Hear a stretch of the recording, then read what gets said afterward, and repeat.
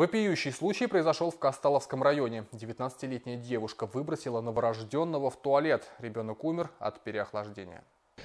К сожалению, такой случай произошел в Касталовском районе. Заведено уголовное дело по статье 100 Уголовного кодекса Республики Казахстан «Убийство матери новорожденного ребенка».